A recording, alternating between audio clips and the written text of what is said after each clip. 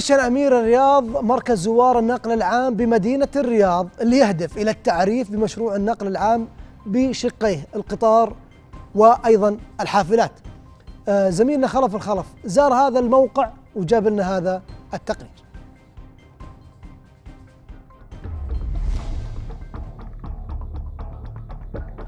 قطار الرياض طالما كان حلما لكنه أصبح واقعا. سكان وزوار مدينة الرياض موعودون بمشاهدة القطارات تجوب شوارعها في منتصف عام 2018 مما سيسهم في الحد من أعداد الرحلات اليومية التي تشهدها الرياض التي تبلغ تسعة ملايين رحلة يوميا. قريب جدا إن شاء الله تشوف القطارات تبدأ تتحرك على الجسور في منتصف العام القادم. اليوم عندنا تقرير عن عدد رحلات المركبات في الرياض. السيارات الخاصة. 9 مليون حركة رحلة في اليوم وهذا أمر غير غير غير سهل, يعني. لذلك بوجود المترو والنقل العام ستخف هذه الحركة بإذن الله وستعطي إن شاء الله الراحة لكل مستخدم الهيئة العليا لتطوير مدينة الرياض أنشأت هذا المركز للتعريف بمشروع النقل العام بشقيه القطارات والحافلات وذلك من خلال استخدام أحدث الوسائل وتقنيات العرض. والمجسمات والنماذج المصغرة التي تنقل الزائر في تجربة حية بين مختلف مكونات المشروع. المركز هذا وضع لنشر ثقافة النقل العام وكيفية استخدام النقل العام. بتصير القطارات كذا منظمة وما في زحمة كثير. المعرض يكون مفتوح من الساعة 4 مساء إلى الساعة 9 مساء. جدا ممتاز ومتفائلين على اللي جاي. يعني الآن أنا متحمس على المرحلة الجاية. سيهنأ سكان الرياض بتنوع خيارات النقل من خلال نظام نقل عام يمتاز بالخدمة الفعالة الآمنة والراقية وذلك بمتابعة الأمير فيصل بن مندر بن عبد العزيز أمير منطقة الرياض رئيس الهيئة العليا لتطوير مدينة الرياض رئيس اللجنة العليا المشرفة على تنفيذ مشروع الملك عبد العزيز للنقل العام بمدينة الرياض.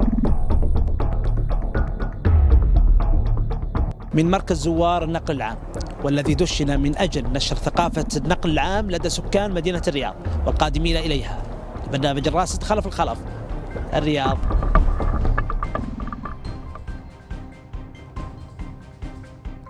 ينضم لي هنا بالاستوديو المهندس صالح العيسى مدير مشروع في مشروع الملك عبد العزيز للنقل العام في مدينة الرياض. حياك الله مهندس. حياك الله أخوي يعطيك العافية. وأرحب بالسادة المشاهدين والمستمعين أيضا. أنتم مقلين بالإعلام لكن صراحة واصلين للناس. الحمد لله. الناس فرحانين بالمعلومة الكبيرة اللي طلعت في التدشين. 2018 بينتهي القطار؟ هذا السؤال. لا إن شاء الله بيكون انتهاء القطار إن شاء الله في 2019 إن شاء الله. 18 تجريبي. التجريبي نعم. التشغيل التجريبي راح يبدأ إن شاء الله في نهاية 2018 آه، لكن راح نشوف القطارات على المسارات وبتشغيل بعض المحطات لكن تشغيل تجريبي ما راح آه، الناس تستخدمه اي أكيد. آه. لأنه هو تشغيل تجربة ال system بشكل كامل بالخطوط بالقطارات بايضا أنظمة المحطات وغيرها من أنظمة التشغيل. كم بيستمر التشغيل التجريبي هذا؟ هو طبعا يخ... يعتمد على آه، نوع الاختبار اللي نختبره لأن هي عدة تمر التشغيل يمر بعدة مراحل. أو الاختبار عدة مراحل تشغيلية. آه كل آه قطاع أو كل نسميها منطقة على حدة راح تكون كل خط على حدة. آه لأنه زي ما فهمنا يمكن ست مسارات وكل مسار يضم عدة يعني عدة ديبوز أو نسميها مراكز البيت والصيانة. والتحكم أيضا. فهذه التشغيل راح يتم على فترات أو الاختبارات راح تكون على فترات تجريبية أو فترات متقطعة ممتاز إنه إنه انت تشوف كل اخطائك اذا في عندي خطأ يبين. أكيد بالضبط. لأن يعني ما ودنا نشغل التشغيل ما تشغل إلا وأنت جاهز تماما بالضبط. هذا هذا الهدف إيه. في بعض التجارب دائما تجي انه إنه أنا مستعجل ودي اخلص ولذلك خلت تصير أخطاء بعدين اتعلم منها. لكن أنتم كذا تقول إحنا نبغى نسبة الخطأ تكون أكيد إيه؟ قليلة لأنه نظام النقل لا يحتمل الخطأ ابدا. أنت تتكلم عن نقل الارواح وهذا شيء يعتمد على ونتعهدين سابقا على نظام نقل آمن ويسير وسهل أيضا وسريع في نفس الوقت. فكنا نلتزم بهذا الشيء من واجبنا أن نظهر العمل بشكل بإتقان كامل. يعني 19 الناس بيركبون بإذن الله إن شاء الله. 2019 بإذن الله. والله شوف آه الناس متفائلين. بس المركز هذا موجود الآن في طريق العروبة في مدينة الرياض. نعم. نهاية طريق العروبة مع الملك عبد العزيز قاعد ادل الناس عليه عشان أخوي يجون. عبد الله الأسبوع الماضي آه، شرفنا آه، سمو امير منطقه الرياض سمو نائبة. آه، وأعضاء ل- معالي أعضاء اللجنة العليا بافتتاح آه، مركز النقل العام أو مركز مشروع النقل العام. وهو مركز خاص للزوار للتعريف الزوار أكثر بمحتويات ال- آه، المشروع أو ب آه، آه، نسميه إنه مكونات المشروع ماذا يحتوي. بالإضافة أيضا هناك في تجربة محاكاة بسيطة آه، للزوار. آه، طبعا لو لو لاحظت أنت بداية آه، تنفيذ المشروع بدأنا بعدة مراحل. أول شيء بدأنا باستراتيجية معينة اللي هو تعريف الناس بالمشروع. وش المشروع هذا؟ وش عدد مساراته وش عدد محطاته وغيرها من وعلى أي أساس اخترنا المحطات وغيرها. بعد كذا انتقلنا إلى الستيج الثاني اللي هو أو مرحلة. أخرى اللي هي مرحلة تعريف الناس بالتحويلات المرورية. وكان في حملة منظمة على أننا كيف آه، نعمل تحويلات مرورية والمناطق المتأثرة والمناطق اللي حوالين المشروع أيضا بالإضافة إلى منطقة الرياض ككل. ثم بعد ذلك الآن انتقلنا إلى مرحلة جديدة وهي ما نسميها بنشر ثقافة استخدام النقل العام. وهي آه، ثقافة يعني إن كسكان منطقة الرياض نعلم أنه المشروع عبد العزيز النقل العام هو أول مشروع نقل عام في المملكة. فيجب أن يكون نموذج آه، يحتذى فيه في كل المناطق في جميع المناطق بالضبط. ف وأيضا الثقافه آه، خلينا نقول انها ثقافة ما هي عالية جدا فيما يتعلق صحيح. بالنقل العام. نشوف برا أن النقل العام هو جزء من حياة الشخص بس ما سواء يحتاج سيارة أحيانا. بالضبط.